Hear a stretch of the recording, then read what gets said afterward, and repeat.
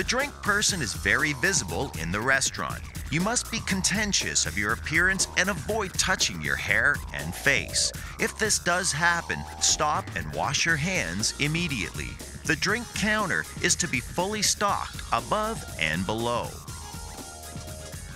Setup. Before setting up, wipe the counter with Quat 10 and warm water. Set up three stacks of large and three stacks of regular cups, two boxes of straws, one stack of coffee cups, and three stacks of gravy cups with lids. Plug in the gravy pot, fill it with gravy, and stock the cheese curds.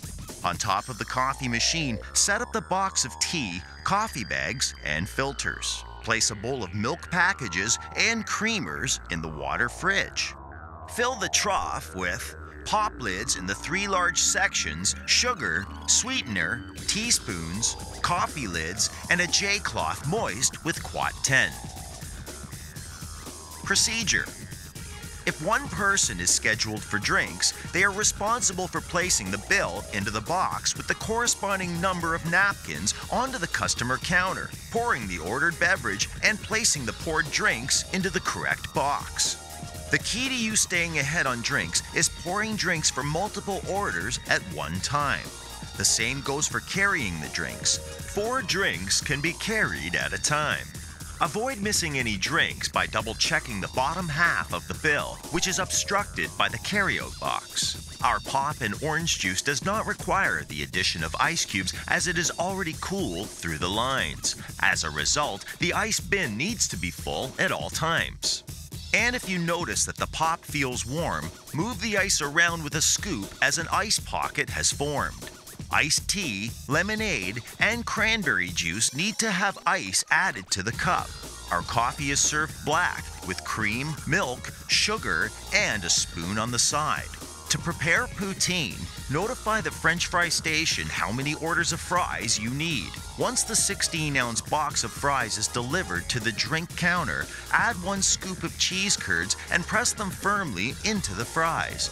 Cover them with one scoop of hot gravy and place them into the carryout box on the customer counter. When two people are scheduled for drinks, one person calls out the drink orders and carries them over to the proper boxes. The second person is required to pour the drinks, stock product, and maintain a clean area. Communication is the key to success when two people are on drinks. Here are some tips to help you avoid some possible problems. Always maintain a balance of poured drinks to bills up on the customer counter. Too many poured drinks can result in customers receiving a warm beverage. The shake machine can freeze up, so check the shake levels in the front fridge, ensure the canister cover is on, and the plug under the bun rack is secured. If you run out of pop, milk, gravy, cheese curds, or coffee, request your back teammate to fill it up. Things to remember Engage the customer in conversation, smile, and make eye contact. Always be looking for something to do. Sweep, help on cash, help on fries, or jump out on orders.